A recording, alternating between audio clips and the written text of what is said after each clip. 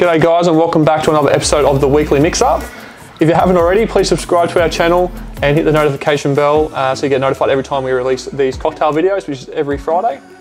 Today, we are making the Gin El Peachy to celebrate our new partnership with Mr. Consistent, which is our good old friends just down the highway here on the Gold Coast.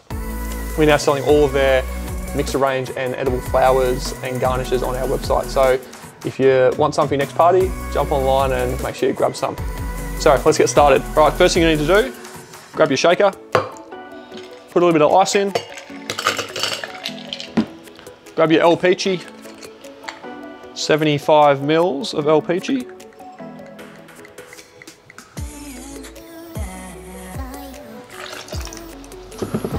All right, 45 mils of gin.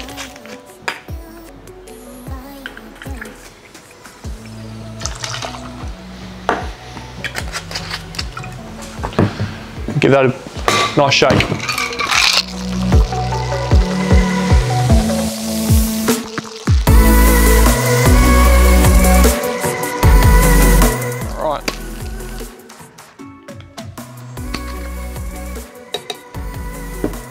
Grab your Hawthorne strainer and we're going to strain into our Nick and Nora glass.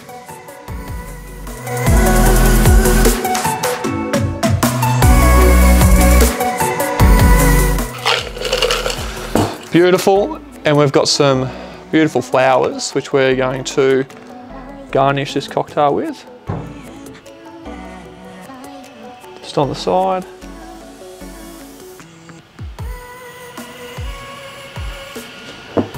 And there you have the Gin El Peachy. Enjoy.